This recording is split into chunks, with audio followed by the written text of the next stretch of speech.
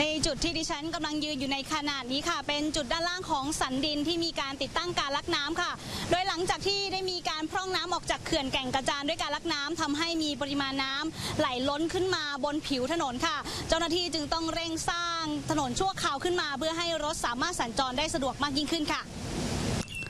ถนนชั่วคราวที่เจ้าหน้าที่ได้ดำเนินการสร้างขึ้นเพื่อเป็นการยกระดับถนนเดิมประมาณ 20 เซนติเมตร ซึ่งจากการระบายน้ำจากการลักน้ำมีผลให้ปริมาณน้ำล้นขึ้นมาบนผิวถนน ซึ่งอาจจะเป็นอันตรายต่อรถที่ใช้สัญจรไปมา โดยในวันนี้ยังคงมีเจ้าหน้าที่ของสำนักชลประทานและทหารจากกองทัพบบก ยังคงมาช่วยการปฏิบัติภารกิจ เพื่อพยายามเพิ่มปริมาณการลักน้ำที่ถูกติดตั้งอยู่บริเวณสันดินของเขื่อน และเป็นเครื่องมือที่ใช้สำหรับการระบายน้ำตลอด 24 ชั่วโมง มาเป็นระยะเวลาติดต่อกันเป็นวันที่ 14 โดยน้ำที่ระบายออกจากการลักน้ำก็จะถูกส่งตรงไปยังแม่น้ำเพชรบุรี บริเวณท้ายเขื่อนแก่งกระจาน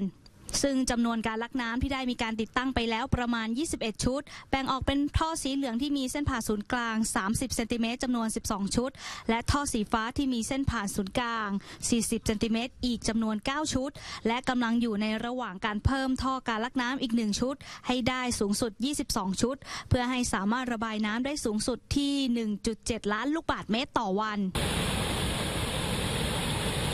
ขณะที่สถานการณ์น้ำในเขื่อนแก่งกระจานล่าสุดยังมีปริมาณน้ำอยู่ที่ประมาณ 737 ล้านลูกบาศก์เมตร หรือคิดเป็นร้อยละ